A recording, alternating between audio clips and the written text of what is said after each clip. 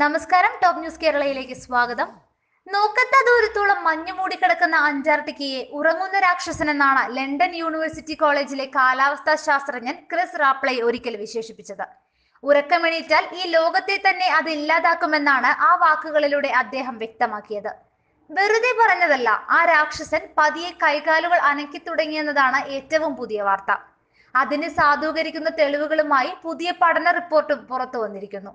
മുൻപത്തേക്കാളും ഇരട്ടിയിലേറെ വേഗത്തിൽ അന്റാർട്ടിക്കയിലെ മഞ്ഞുരുകുകയാണെന്ന റിപ്പോർട്ട് പ്രസിദ്ധീകരിച്ചത് നേച്ചർ ജേണലിലാണ്.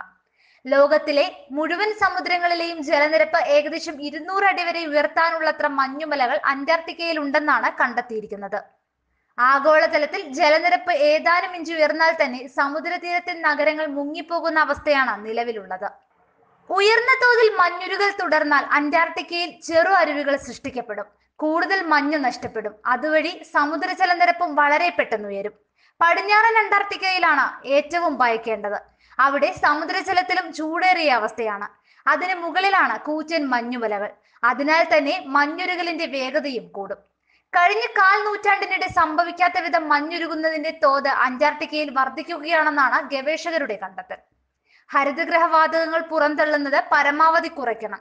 അതുവഴി ഈ നൂറ്റാണ്ടിനൊടുവിൽ ആഗോള താപനില രണ്ട് ഡിഗ്രി സെൽഷ്യസിനേക്കാൾ കൂടാതെ നോക്കിയാൽ തൽക്കാലത്തേക്ക് രക്ഷപ്പെടാം. അങ്ങനെയെങ്കിൽ മഞ്ഞുരുകുന്നതും നിയന്ത്രണ വിധേയമാകുമെന്നാണ് ഗവേഷകർ പറയുന്നത്. പക്ഷേ നേരെ മറിച്ചാണെങ്കിൽ മഞ്ഞുരുകലിന്റെ ദുരന്ത ഫലങ്ങൾക്ക് രണ്ടായിരത്തി എഴുപതോടെ തന്നെ ലോകം സാക്ഷ്യം വഹിക്കേണ്ടി വരുമെന്നും ഗവേഷകരുടെ മുന്നറിയിപ്പ്. News desk top news Kerala. കൂടുതൽ വാർത്തകൾക്കും വിനോദങ്ങൾക്കുമായി top news Kerala YouTube channel subscribe ചെയ്യുക.